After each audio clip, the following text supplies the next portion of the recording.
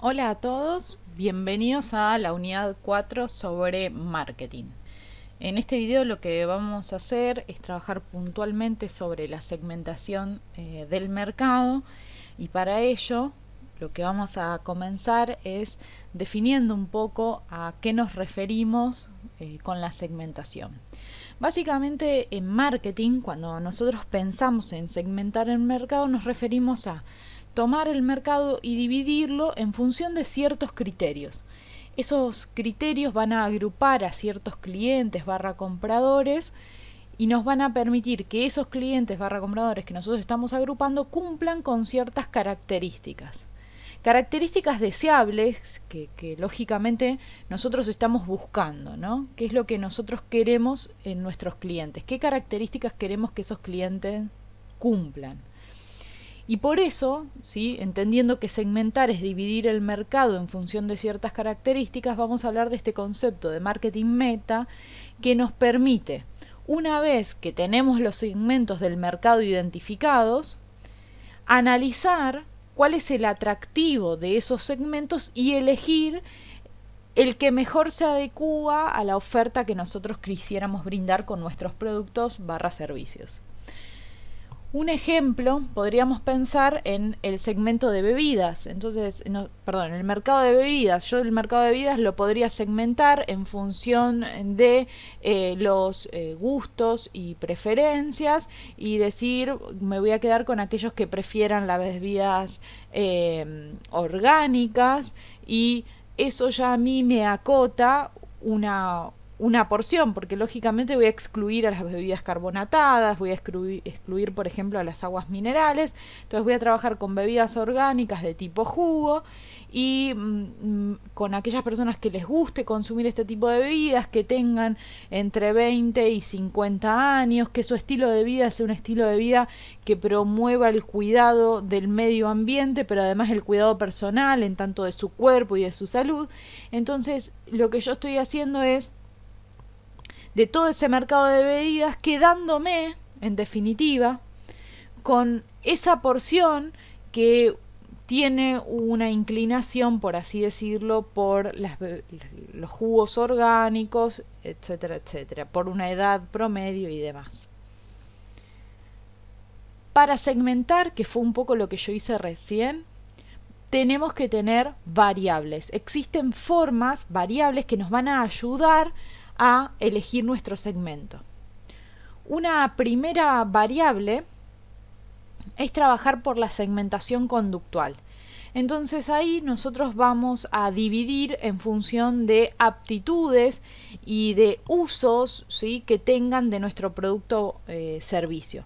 Entonces una forma podría ser pensando por eh, ocasión de uso, ¿sí? situación en la que se está usando el producto, eh, frecuencia con la que se usa dicho producto. Entonces nosotros podríamos pensar, este jugo, ¿sí? este segmento, nosotros queremos que se consuma eh, en un local, en, un, en venta de venta al público, o queremos que se consuma en los hogares.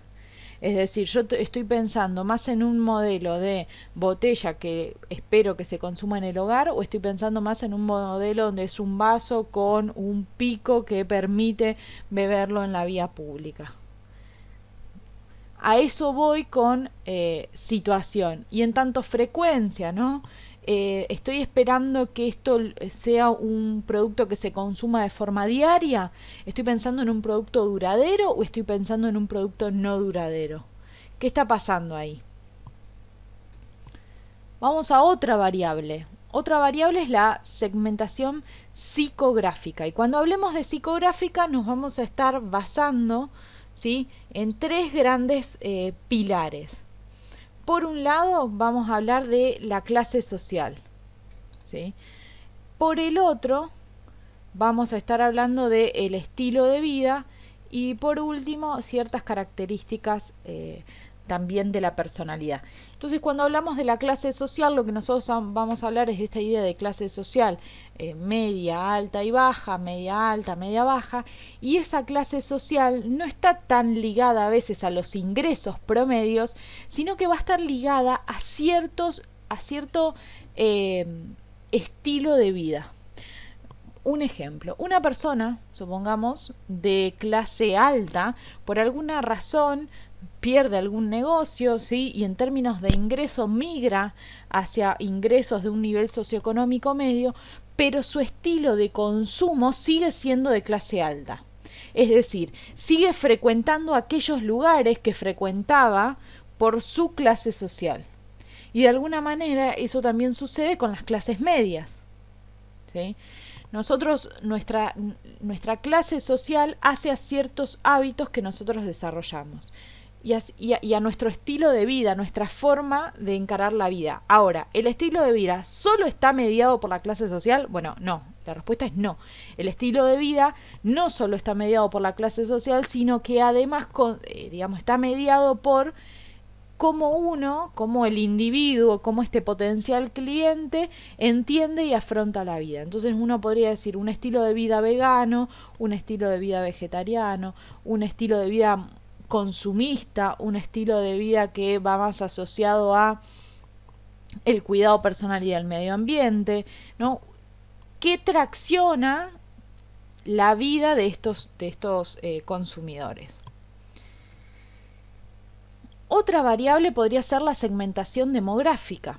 Entonces ahí lo que nosotros vamos a hacer es dividir a esta a, la población, ¿sí? dividir al mercado en función de y ejemplos demográficos serían la edad, el sexo, el tamaño de las familias, es decir, si obedecen a un estilo de familia tipo, cuatro integrantes, el ciclo de vida familiar que están atravesando, si son una pareja eh, joven, si son una pareja con hijos, si estamos hablando de un nido vacío, es decir, adultos que sus hijos ya migraron del hogar, eh, ingresos, ¿sí? cuál es el nivel de ingresos que están reportando, este nivel socioeconómico que yo les decía, ocupación, no es lo mismo que sean empresarios, que sean empleados del Estado, que sean eh, docentes, que estemos hablando de ingenieros, ¿sí?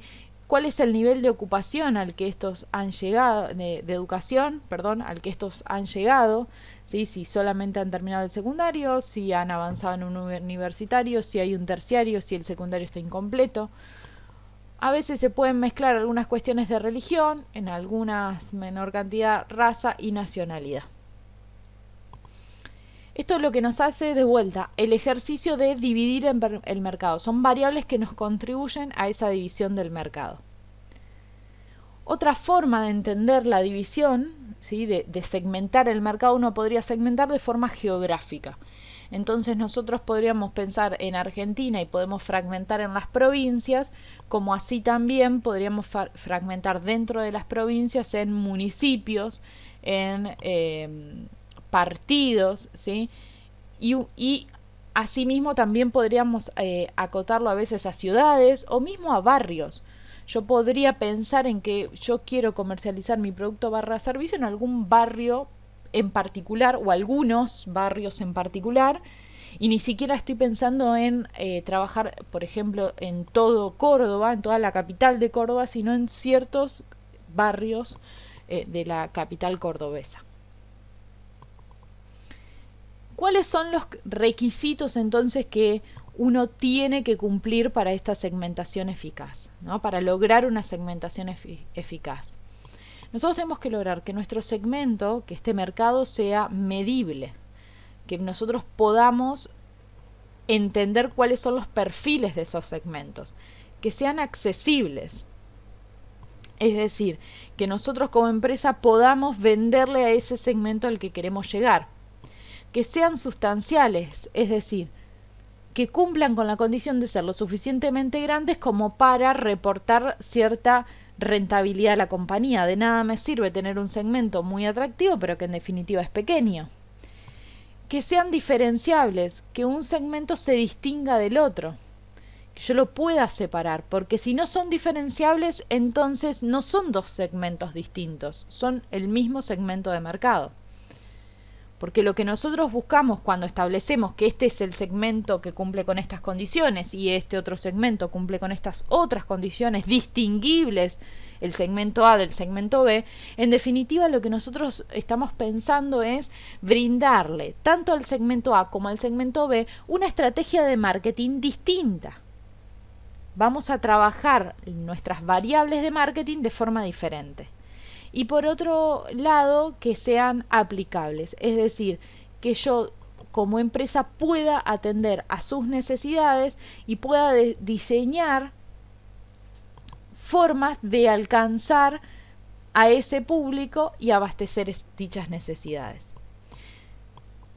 Entonces recapitulo un segundo. Y en esta recapitulación, ¿qué digo?